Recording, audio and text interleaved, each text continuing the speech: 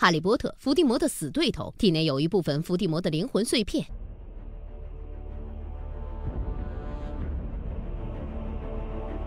为了打败敌人伏地魔，魔法学校学生哈利和好友罗恩·赫敏一起上路了。他们必须找到并摧毁藏有伏地魔灵魂的魂器。除了两个魂器已经被毁外，还有五个下落不明。不久，他们找到第三个魂器挂坠盒，却没法摧毁它。一天晚上，一只鹿出现在哈利面前，哈利跟着他找到了一把宝剑。罗恩随后赶到，并用宝剑摧毁了魂器。紧接着，赫敏提出去一位同学家，向这位同学的父亲请教一个神秘符号的含义，因为他发现这个符号出现了很多。同学的父亲告诉他们，这是死亡圣器的标志，只要拥有老法杖、复活石、隐身衣三件圣器，就能成为死神的主人。可他们的同学早已被抓走，同学的父亲被迫出卖了他们。哈利三人被捕，这时哈利的狂热粉丝精灵多比出现了，在他的帮助下，哈利等人幸运逃脱。而另一边，伏地魔撬开了校长的坟墓，取走了老魔杖。哈利买通魔法银行里的职员，他们成功进入银行，并找到第四个魂器金杯。不知道什么原因，哈利经常可以感知伏地魔。的思想，这也许就是传说中的缘分吧。想想还有点小浪漫呢。他由此感应到学校中藏有魂器，于是他们返回了学校。赫敏和罗恩用一条死蛇的毒牙毁了金杯，魂器接连被毁。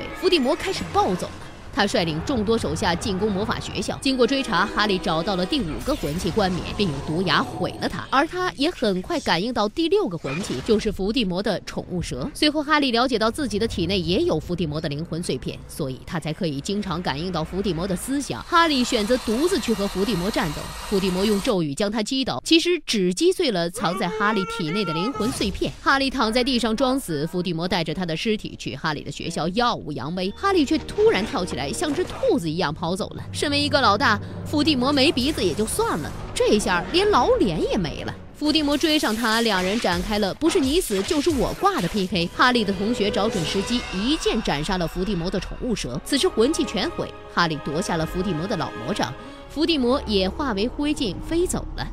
十九年后，哈利和好友们都已经是当爹当妈的人了。他们再次聚在一起，送孩子去魔法学校。在火车站，他们见到了很多故。